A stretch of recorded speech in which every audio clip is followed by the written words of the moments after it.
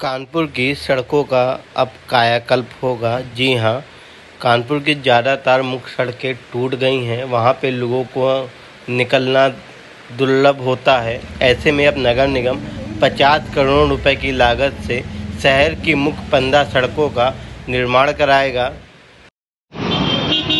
दीपावली से पहले नगर निगम भी कानपुर वासियों को एक तोहफा देने जा रहा है। कानपुर वासी टूटी हुई सड़कों से बेहद परेशान है। कानपुर की सड़कों की बात की जाए तो सड़कें एकदम खस्ता हाल हो चुकी मैं आपको दिखाना चाहता हूँ, ये बर्रा बाईपास से ठाकुर आ जाने वाली रोड है। ये रोड पूरी तरीके से टूट चुकी है।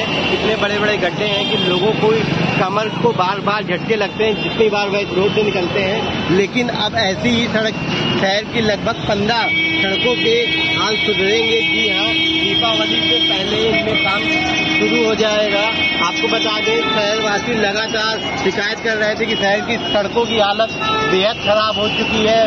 बीती बरसात ने भी कानपुर की सड़कें तोड़ के रख दी थी। आपको बता दें, अब इन सड़कों से सड़कों को 50 करोड़ रुपए की लागत से सुधारा जाएगा। शहर की कुछ एक सौ बाईस सड़कें चयनित की गई हैं जो बेहद इनके हाल बेहद खराब हो चुके हैं। इन, जो जिन सड़कों के हाल ज़्यादा खराब है, उनको नवीन तरीके से बनाया जाएगा। बाकी सड़कों की रिपेयरिंग की जाएगी। पहले चरण में पचास करोड़ रुपए से शहर की पंद्रह सड़कें सुधारी जाएँगी, जिसमें ये सड़क भी शामिल